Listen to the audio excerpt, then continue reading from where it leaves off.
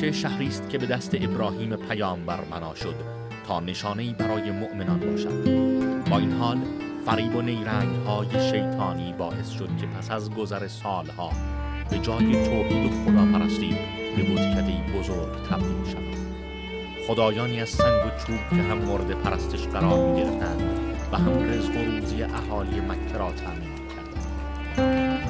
از سرتاسر سر سرزمین های دور و نزدیک کاروان های تاجران برای استراحت و زیارت به مکه می آمدند تا هم کعبه را زیارت کنند و هم قربانی های خود را به آنان پیش کشیدند. با این حال فقط یک نفر بود که در میان آن قوم همچنان بر دین توحید و خداپرستی باقی از نسل پیامبر ابراهیم عبدالمطلب بزرگ و سرور قریش و مکه. جد آخرین پیامبر الهی اینجا مکه است. یک سال پیش از تولد محمد ابن عبدالله آخرین فرستاده خدا.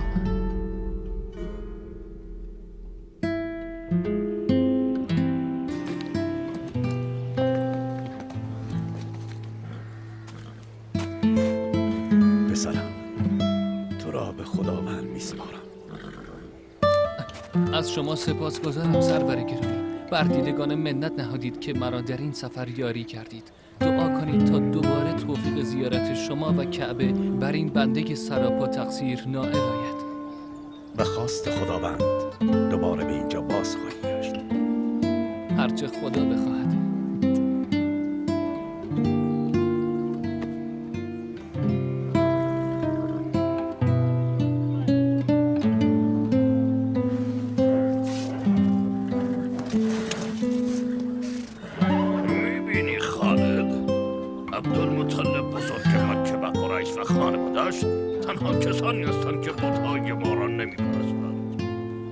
از کارهای او سر در نمی آورم امیه نه در کار او و نه در خاندان بزرگ بنی هاشم هیچگاه بر راهی که ما هستیم نیامدند و ادعا می کنند که بر دین ابراهیم باقی ماندند تا زمانی که تجارت ما را به خطر نیندازند بگذار هرچه می‌خواهند بکنند اینجا در مکه و کعبه هر که ثروت بیشتری دارد حکم فرما خواهد بود.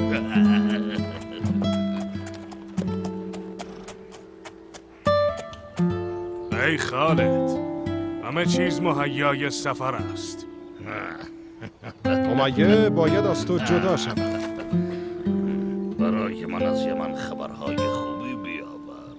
با دست پر باز خواهم گشت.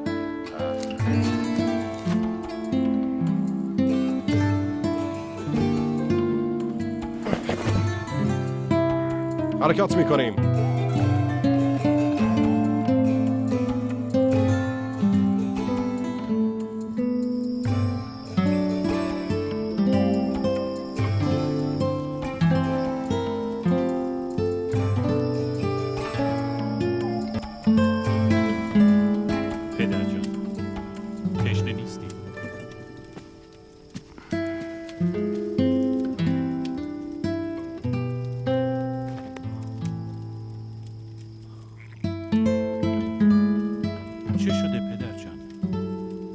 شب شما را می‌بینم که خیره به مکه مینگرید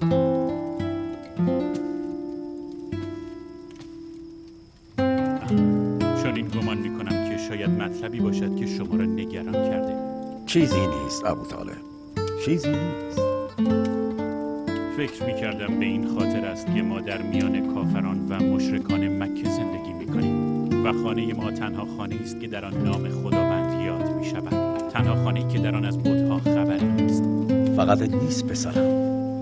نمی‌دانم چه چیزی است ابو طالب. گویی مسئله دیگری هم در جریان است. چه مسئله ای پدر جان؟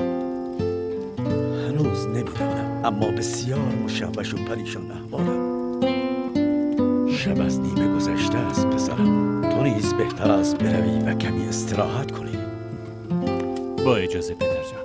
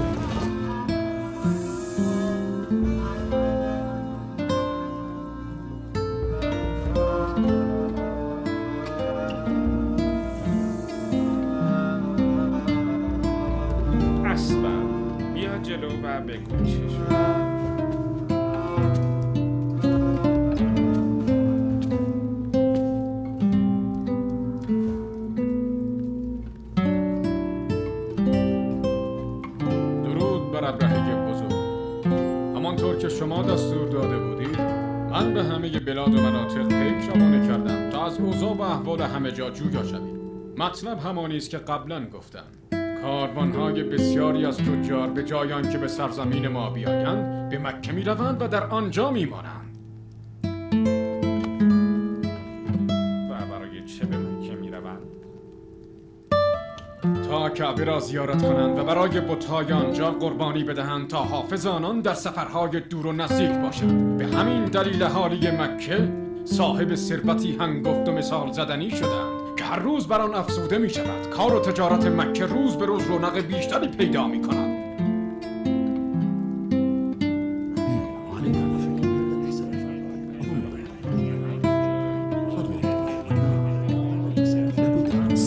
خاموش باشید. خاموش باشید و دیگر چیزی نگویید.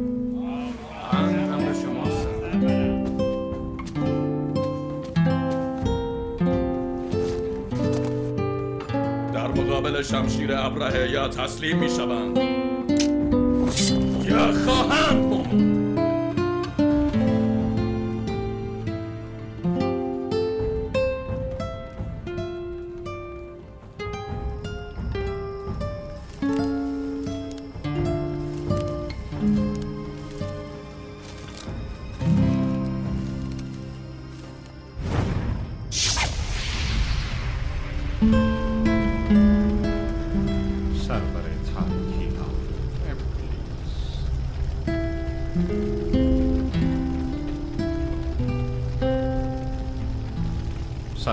چه دستوری دارد؟ کعبه ای دیگر بساز در همین جا کعبه ای از طلا بساز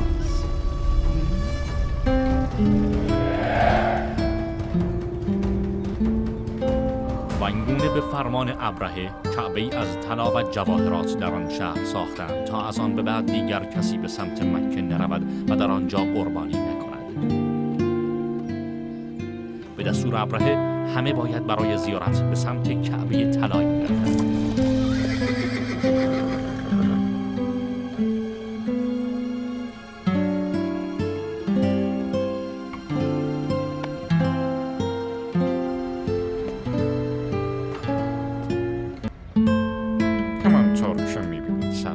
چیز همانطور شد که شما می‌خواستید. این کعبه طلایی هدیه شماست قبله عالم. می‌خواهم خبرش تا همه جا برسد.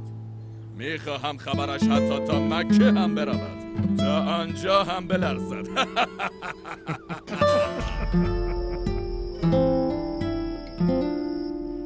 اگر این خبر به مکه برسد همه چیز را خراب می کند گمان می کنم که ابراهیم این تصمیم را برای این گرفته تا رونق بازار تجارت مکه را به نفع خودش به هم بزند. این یعنی اینکه مکه بی اعتبار می شود و دیگر کسی به آنجا نخواهد. نباید بگذاریم چنین شود خالد. این کعبه طلایی همه کاروانها را سمت خودش جذب می کند و آنگاه دیگر کسی برای بتهای ما قربانی نخواهد کرد و نزولاتشان را به پای این کعبه طلایی می ریزند حال ما خودمان باید دست به کار شویم.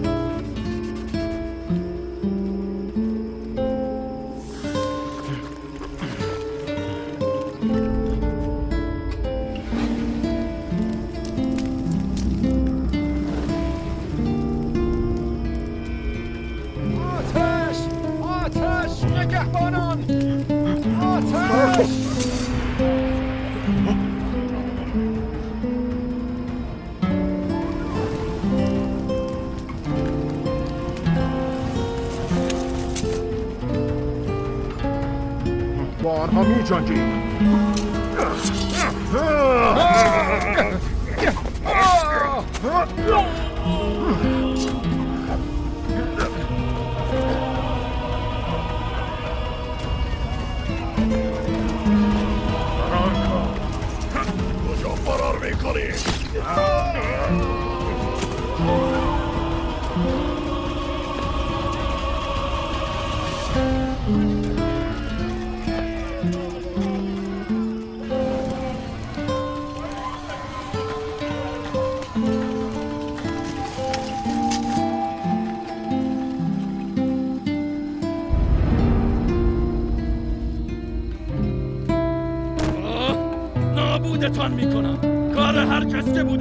نابودش می‌کنم. نابودتان می‌کنم. نابودش می‌کنم.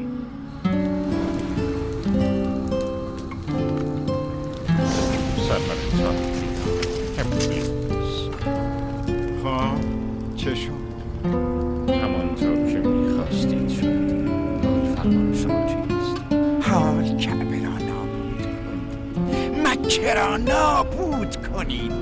اما سوالی دارم سرورم اینقدر اصرار دارید که و ممکن نابود شود. آخرین پیامبر الهی به زودی در آنجا به دنیا خواهد آمد. در کنار کعبه در کنار کعبه می ایستد و بتهای من را از آنجا بیرون می کند نباید چنین شود. به سمت مکه برو و آنجا را نابود کن. کعبه و مکه را نابود کن.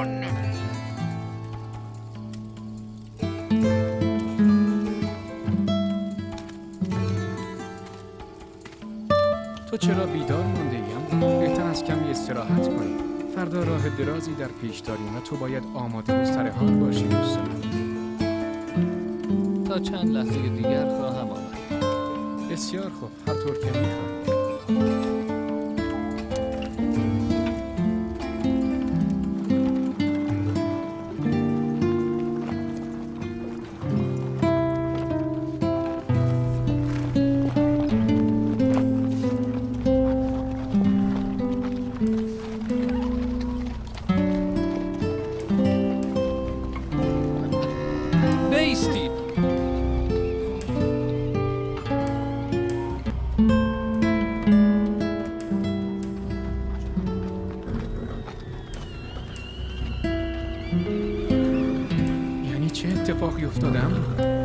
زمین زیر پایمان میلرزد؟ راستش نمی‌دونم به دستور ابرهه کاروانهایی که بر سر راهش به سمت مکه بودند را غارت می کردند و برای ایجاد رعب و وحشت و گرفتن انتقام از به آتش کشیدن کعبه طلایی سر از بدن برخی کاروانیان جدا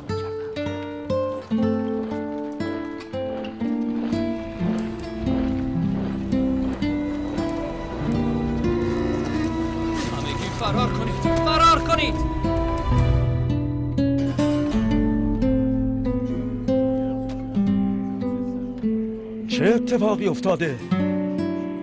به شما گفتم چه شده؟ آمیه تو به من بگو چه شده؟ سبب این بلوا و آشوب چیست هان؟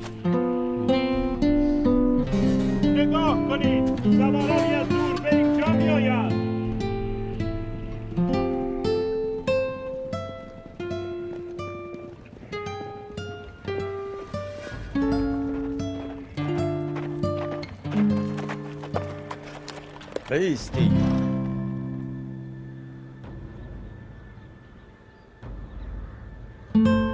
بزرگ قوم شما چه کسی است؟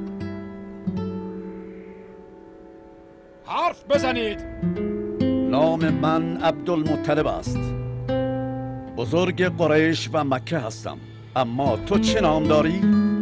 و از کجا میایی؟ نام من اسود است فرمانده سپاه ابرهه هستم ما ایم تا کعبه و مکه شما را با خاک یکسان کنیم.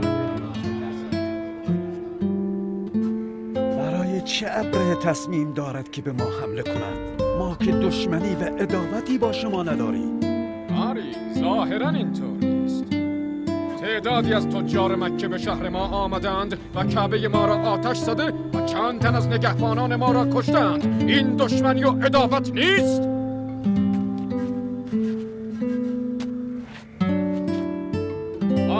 انتخاب با شماست یا شما کسانی که مرتکب این اعمال شدهاند را به ما واگذار می کنید یا خانه هایتان را خراب خواهیم کرد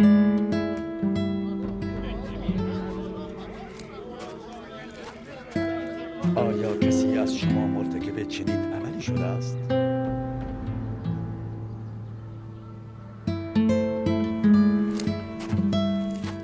اسود ما اهالی مکه هستیم و من بزرگ ایشان هستم. اگر بخواهی خونبه های نگهبانان و خسارتی که به شما زده سرورم ابرهه فقط خون می‌خواهد.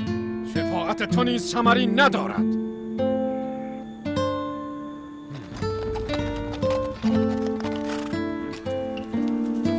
و برای اینکه بدانید ما چه خواهیم کرد این پیشکشی است برای شما و در عبرتی است برای دشمنان سرزمین ما.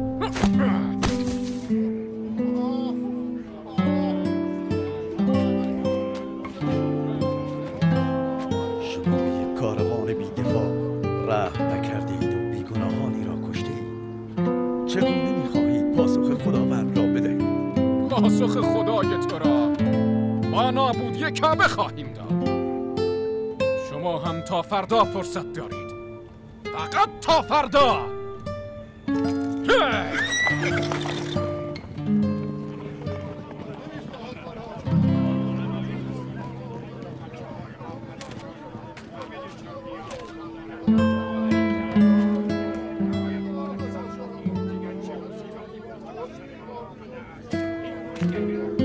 تو که بزرگ خاندان قریش هستی بگو چه کار کنیم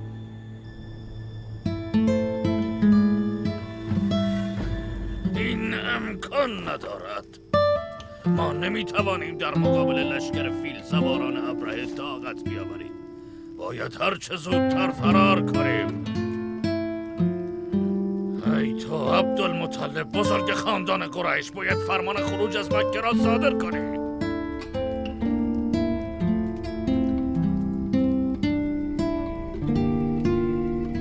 ننگ از شما به دور است که به این سادگی به کعبه پشت کنید و او را رها کنید. اما ما باید جان خود و جان اهالی مکه را نجات بدهیم. شاید فردا دیگر دیر باشد و هیچ کدام از ما زنده نمانیم. اینطور است. باید همین امشب از مکه خارج شویم.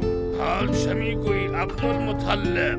رأی ما را میپذیری یا این نه؟ تنها راه حل است. بگذار مکه و کعبه را به او واگذار کنیم تا شعله انتقامی که دارد فروکش کند. سوال من این است که چرا در این لحظه خدایان چوبی و سنگیتان نمی‌توانند به شما کمک کنند؟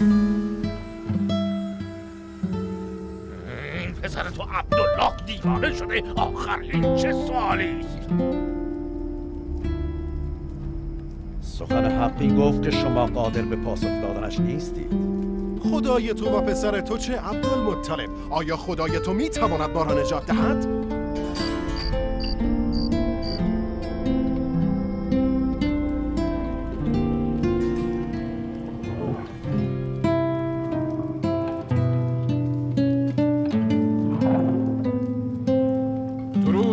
ابرهه کبیر. بزرگ مکه خواستار دیدار با شما هستم.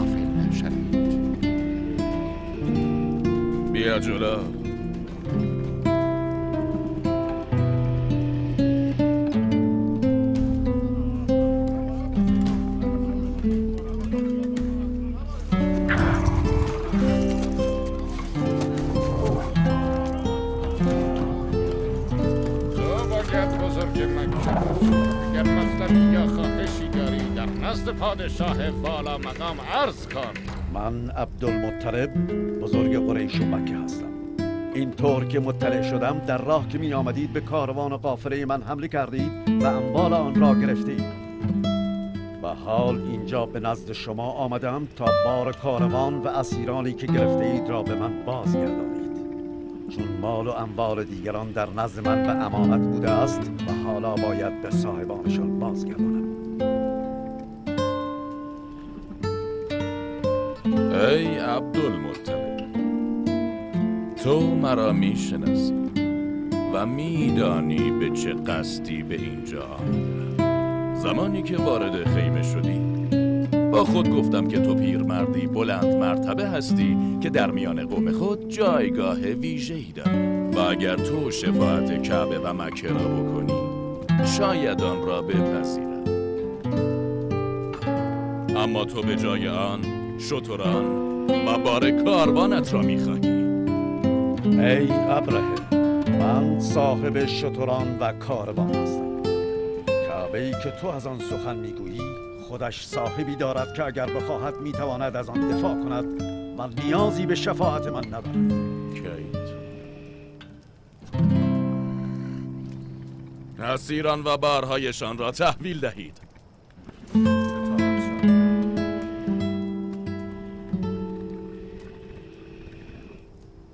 خوب گوش کن عبدالمطلب. بهتر است از قول من به صاحب کعبه بگویی که فردا او و خانه اش را با خاک یکسان می کنم صاحب آن خانه شنوا و آگاه به همه گفتار و رفتارهاست. نیازی ندارد که من برایش پیغامی ببرم.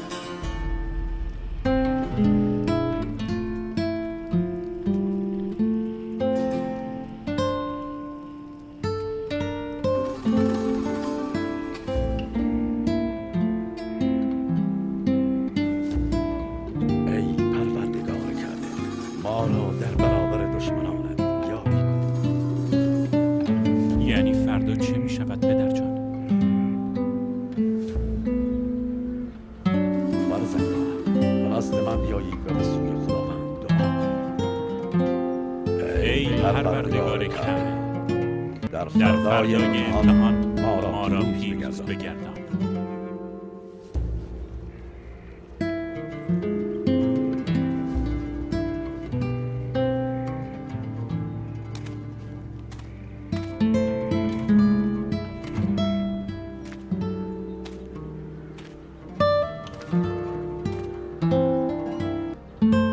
اهل مکه خالد برای نجات ما چاره ای اندیشیده است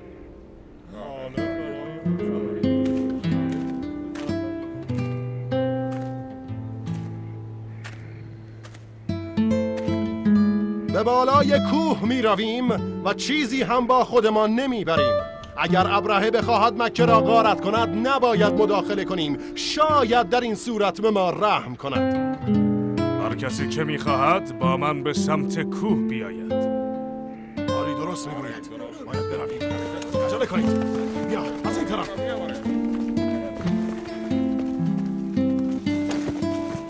پس شرفتون کجا رفته؟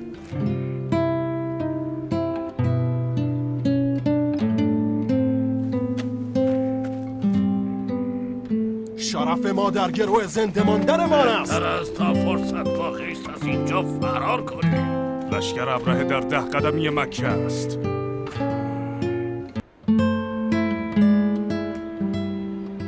حال تو میمانی و خدایی که می‌گویی هست ولی دیده نمی شود برویم برویم.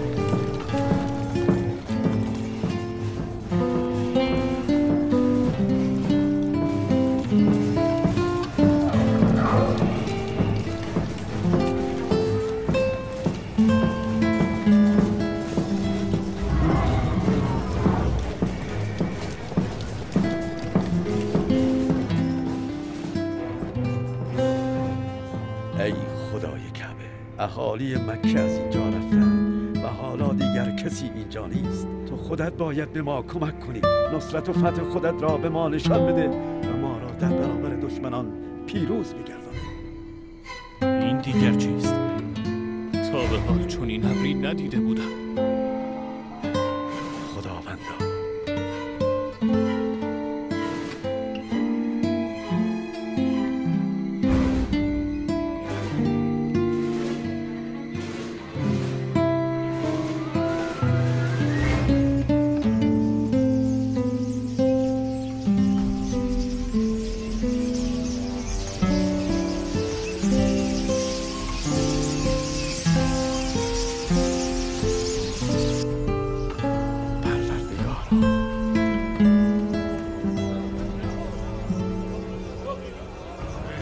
دیگر چیست خالد تا به حال در تمام زندگیم چنین ابر سیاهی ندیده بودم.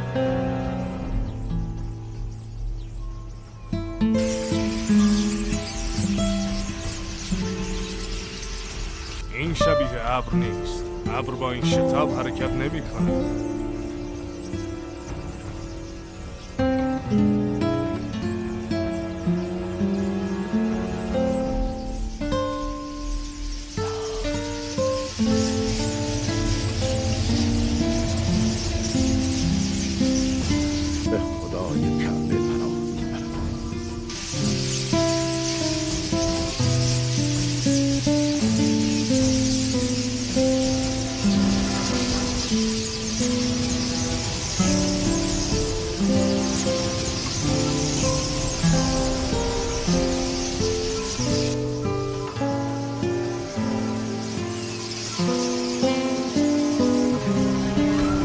به سوی لشکر ابرهه می روند اینها از کجا آمدند پدر جان؟ پناه می‌برم به او که قادر یکتاست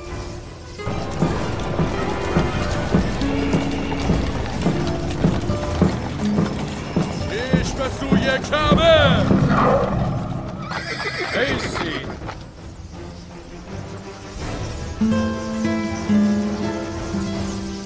نکند این جادوی مردم مکه باشد.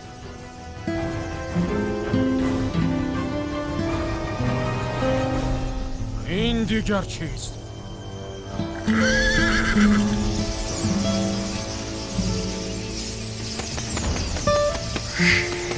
این پرندگان چه می‌خواهند؟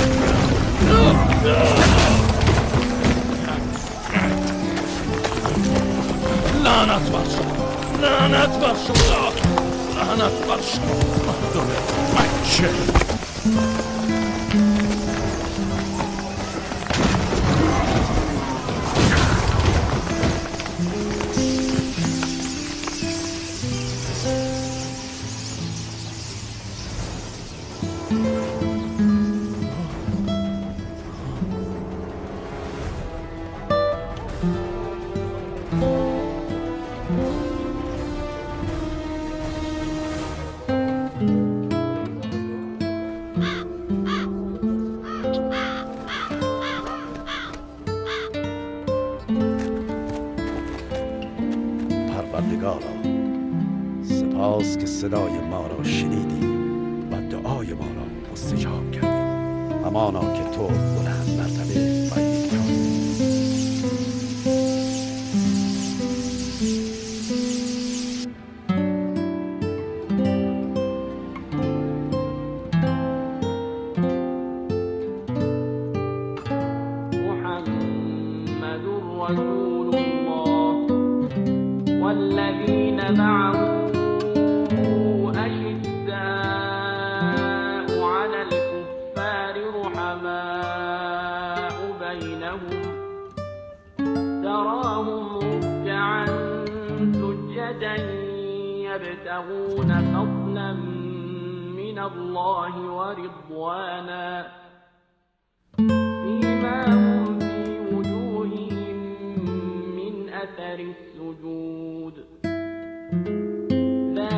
مثلهم في التوراة ومثلهم في الإنجيل كزرع أخرج شطأه فآزره فاستغلظ فاستوى على سوقه يعجب الزراع ليغيظ بهم الكفار.